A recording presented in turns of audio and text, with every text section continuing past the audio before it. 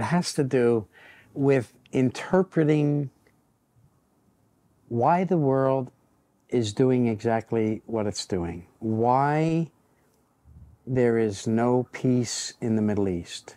There's a direct,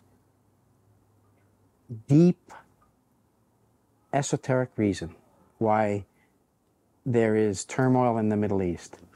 And it has to do with the fact that because the city of David is not there, and that that is not the land promised to Abraham, Isaac, and Jacob, but literally, when the Zionist movement picked up out of Central Europe and went backwards against the course of the light, they uh, set in motion events in the world that uh, have resulted in the conflagrations that are unfolding in reality right now.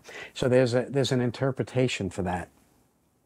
There's an interpretation for the reason uh, why the World Trade Center was uh, leveled, why um, China and Russia have made an agreement to check American hegemony in the world.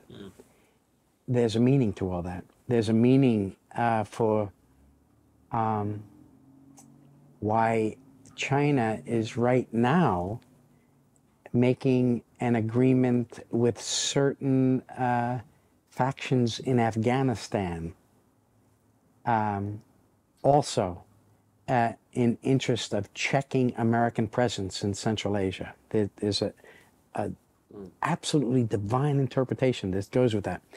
Why is the economy collapsing in Japan?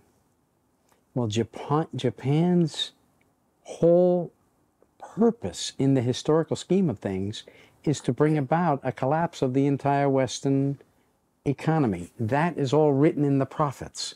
And so um, these are events that are getting ready to unfold in the world. And um, uh, so I guess I guess we have um, um some sort of sense of urgency, and that we just want to make sure that those ideas are planted out everywhere.